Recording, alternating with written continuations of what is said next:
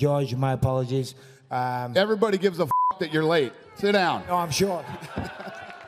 hey, I, I was outside the Encore. The car was at the Wynn. Okay. Okay. I think Vegas got the best out of you, unfortunately. Yeah, it doesn't matter because I'm going to get the f***ing best out of you, so shut the f- up. No, you Listen, won't. No, you won't. You're talking about being a f- welterweight. You are a welterweight, okay? I'm a middleweight. I can't wait to f***ing square up against you. Stand up. Stand up and look at the size of me and look at the size of you. Go back to f***ing Canada. That's all. That's all you have on, on me. That's all you have. No, it's not. I've got a lot more Yes. than that, pal. I got skill, Uh, skill, fighting IQ, athleticism. Here's the guy. tools.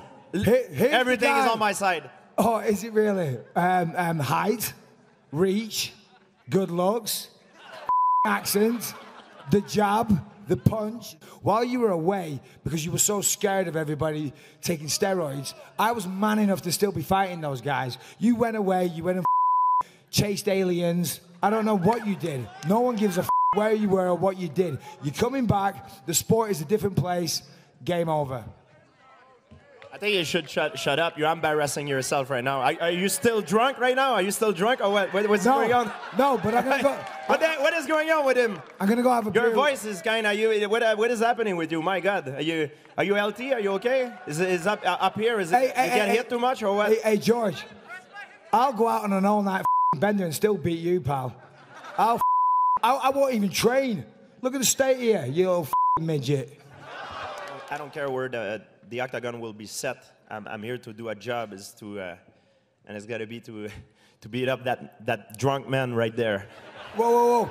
Why is the onus on me being drunk? What's that got to do with anything? I've been drunk throughout my entire career. Danny will testify to that.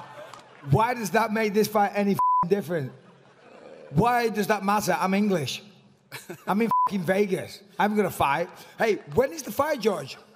Wh- When's the fight? When do you want to fight? Because I'll fight right now. I'll fight right now. That's the difference between you and me. So you look at me. You, you don't scare me, not even one bit. not even one bit. I'm not trying to scare you. You really. I'm not trying to scare you, but here's the fact. I'm a real fighter. I'm a real fighter. You're an athlete, and good for you. You're a very, very good athlete, but you're an athlete. I'm a fighter.